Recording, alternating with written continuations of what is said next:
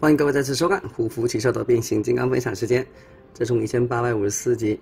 我今天的话呢，给大家做一款巨玩复刻的大黄蜂的玩具，这是好朋友中荒银月兄提供给我们的。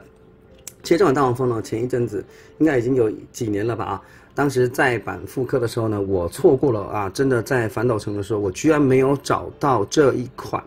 那据说呢，在呃，一些大卖场、超市里头呢，也是有机会买到，但是我就是没看到 Bumblebee，啊，觉得很可惜。那今天有机会的话呢，给大家做一个分享。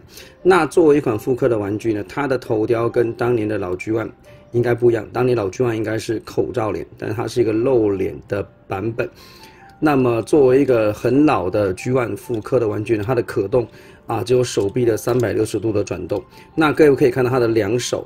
上下连接感是不一样的，因为它变形的时候是这样子缩进去啊。那由于这个杆子插进来之后的话呢，里头的空间呢就被占有了，所以它是上下错开的。但是即使如此呢，它还是做了一个呃 L 型的一个位置的调整，让它两边的轮胎呢尽可能的在一个高度上，也都是让它的两只胳膊呢尽量是一个高度。那脚的话呢就没有什么可动了，这个脚的话呢。啊，折上来的时候呢，是有一个黑色的一个呃 C 型扣啊，这样记得把它给扣进去，这样一来就非常的稳固了，站立性呢也还算可以了啊。脚后跟是稍微短了点啊，不过只要手稍微往前放一下，也就没有问题了。那么跟 G One 的老 OP 放在一起啊，绝对是非常非常有情怀的感觉啊。本身玩具的电镀呢也还是比较漂亮，虽然是一个呃一个呃复刻版，但做的还相当可以了啊。那我们的话呢，就来进行它的一个变形过程啊。首先的话呢，头部这样塞进去就可以了。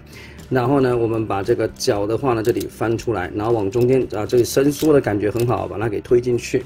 再来呢，就是把这两只胳膊的话呢，给放进来。如此一来的话呢，一台非常可爱的金龟车啊，就完成了。而它的滚动性的话呢，绝对是会让你非常满意啊，推起来非常的爽快啊。那么它的电镀部件的话呢，依然在车型下是非常明显的啊。这个轮框，那么车头的这个 bumper 的话呢，应该是银漆了啊，并不是啊电镀部件。那电镀的话在后面，那后面这里的这个符号代表什么意思啊？我不是很清楚啊。然后车窗是黑色的涂装件。那么这个金龟车的话呢，和 G ONE 的老 OP 的货柜放在一起，那这个大小比例应该是没有什么问题的。那是一款非常精美的小玩具，当时错过了，我真的觉得非常的可惜。那利用这一期的话呢，给各位做一个小小的分享。大家也应该听得出来，我的声音还没有完全复原啊，不知道为什么这一次这么严重啊，所以就只能录一些比较简单的小短片给大家。那希望大家也继续给我三连支持啊。那谢谢各位这一集的收看，我们下期再见，拜拜。